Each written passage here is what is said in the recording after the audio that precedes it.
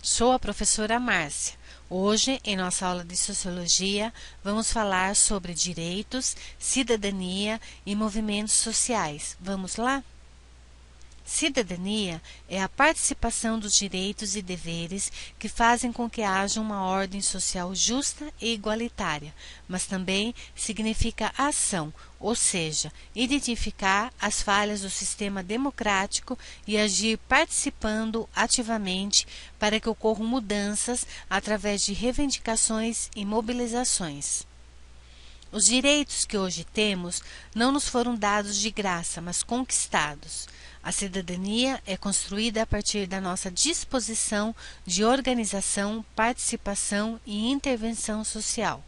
Às vezes, ainda vemos nossos direitos como um favor do governo para a população, mas são direitos garantidos por lei e é nosso direito requerê-los. Desde o século XVIII, dois processos históricos tornaram-se a base do que chamamos hoje de direitos humanos.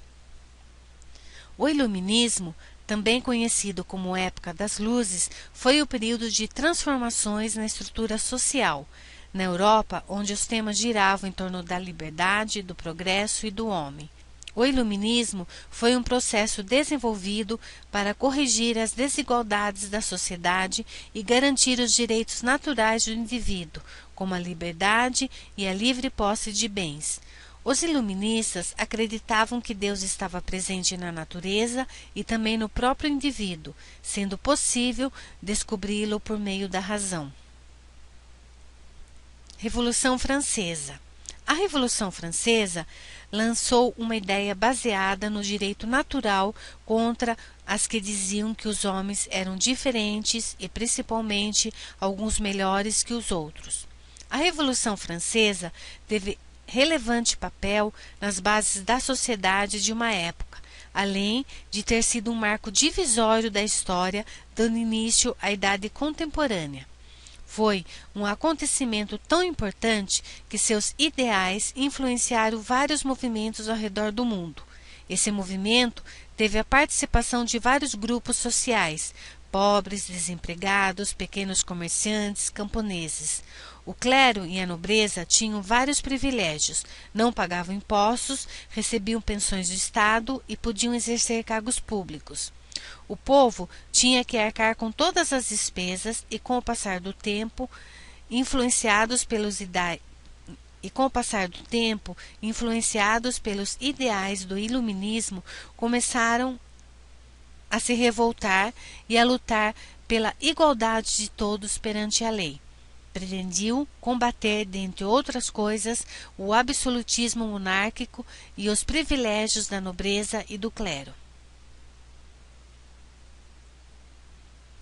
Durante o século XIX e XX, muitas transformações aconteceram em virtude das grandes guerras e do Holocausto.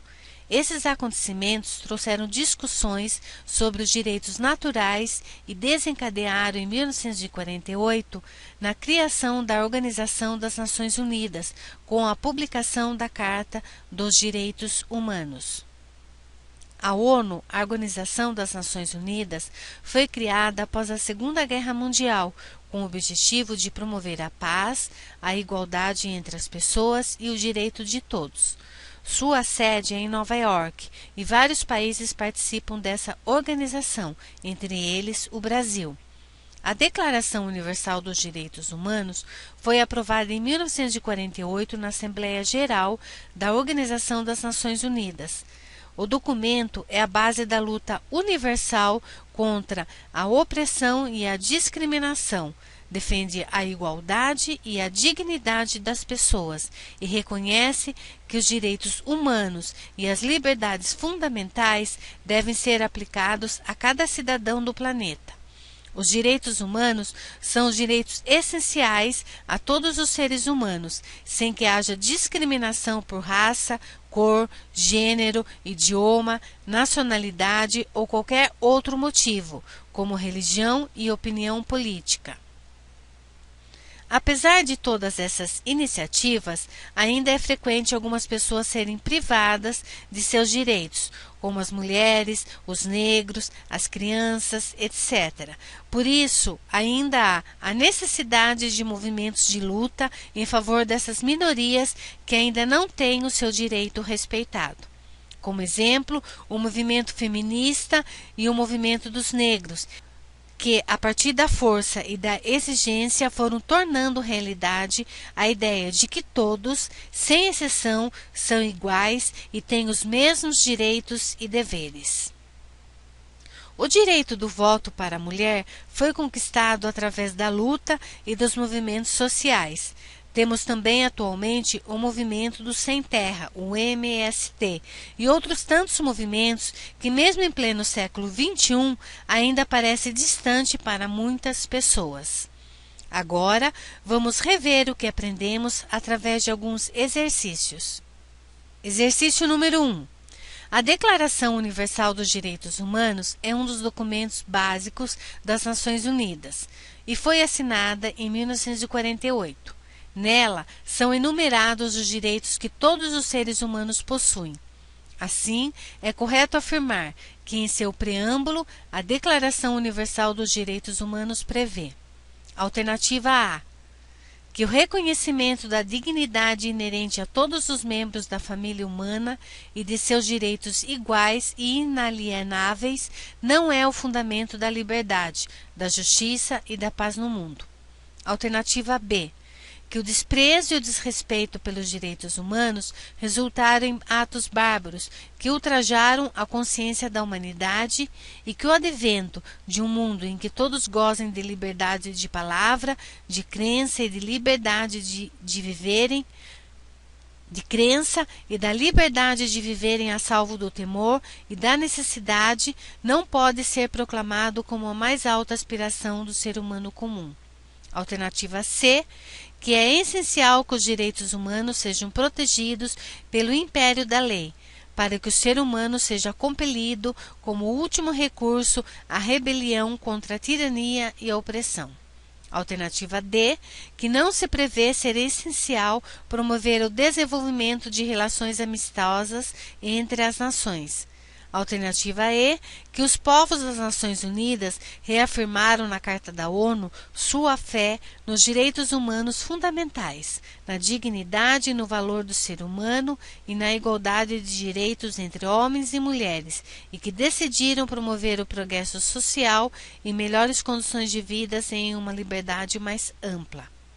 A alternativa correta é a letra E que os povos das Nações Unidas reafirmaram na Carta da ONU a sua fé nos direitos humanos fundamentais, na dignidade e no valor do ser humano e na igualdade de direitos entre homens e mulheres, e que decidiram promover o progresso social e melhores condições de vida em uma liberdade mais ampla. As outras as outras alternativas não se encaixam na resposta correta, pois não falam de direitos e sim de exclusões, e não de garantir a liberdade plena do indivíduo. Exercício número 2. De acordo com os instrumentos internacionais e nacionais de garantia aos direitos humanos, o direito das minorias é Alternativa A: inadmissível, pois todos são iguais em direitos e obrigações. Alternativa B: inadmissível apenas se não houver o Estado democrático de direito. Alternativa C, inadmissível, pois estabelece discriminações. Alternativa D, admissível, pois os grupos socialmente vulneráveis merecem especial proteção. E alternativa E, inadmissível, pois estabelece preferências e privilégios. A alternativa correta é a letra D, admissível, pois os grupos socialmente vulneráveis merecem especial proteção. Assim como dissemos anteriormente que as mulheres, crianças e idosos merecem proteção especial, pois são as partes mais vulneráveis de nossa sociedade. Lembre-se, cidadania é a participação dos direitos e deveres que fazem com que haja uma ordem social justa e igualitária, mas também significa ação, ou seja, identificar as falhas do sistema democrático e agir participando ativamente para que ocorram mudanças através de reivindicações e mobilizações. Obrigada e até a nossa próxima aula. Thank you.